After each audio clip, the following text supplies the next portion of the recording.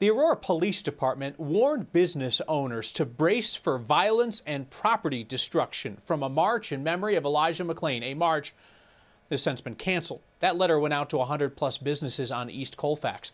Part of the letter reads, quote, The Aurora Police Department wanted you to be informed so you could take any lawful precautions you feel are needed, end quote.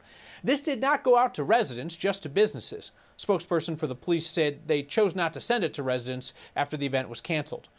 Elijah McClain died after he was restrained and medicated by Aurora police and paramedics. His death has led to national condemnation and reform of the Aurora Police Department, along with multiple investigations and a civil rights lawsuit. McClain's mother said that she did not want this particular march to happen. She said it didn't actually honor the memory of her son, and she didn't think it got the family any closer to justice.